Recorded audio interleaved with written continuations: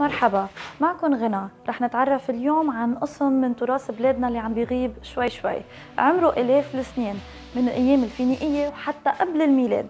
تعالوا تعرفوا معنا أكثر مع عمو الياس أبو جورج عن كيف وليش وأي متى بلش الفخار وقديش مهم بالنسبة للإنسان.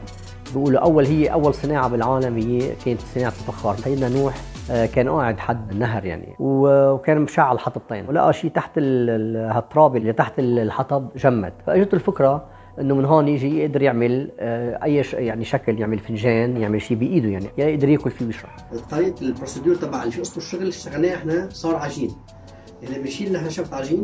قبل ما نحط الشغل على الديسك بدنا نعركه قديش كان يساعد الإنسان بيساعد دائما كان كثير لأنه كان بالأول يستعمل للاكل للشرب للمي للتسخين كان حتى تحط الزيت بقلب الخبيط الأسيد للنحل كانت البخار البيوت العش الحمام عش العصافير الأرانب كله كان بخار.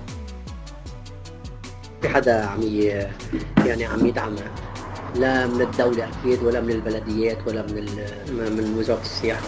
ما ما بقى في دخل يخلي إنه يقدر الولد يعني الابن يقدر يشتغل فيها. لأنه بيقول لك ما بتطلع يعني. عم نحاول نحن نسعى إنه قد ما فينا آه نقدر نجددها. يعني نعمل شغلات إلى جانب الشغلات الأساسية التراثيه حتى عم نحاول نعلم يعني بعض الأشخاص اللي بيحب يتعلم.